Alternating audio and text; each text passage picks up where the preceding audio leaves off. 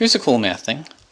Can you take a rubber band and using just one hand manipulate it in some way that you end up with a five-pointed star, a pentagram.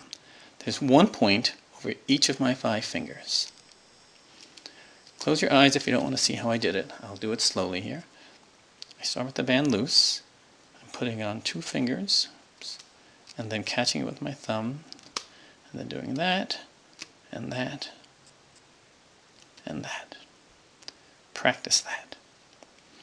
And here's an interesting puzzle.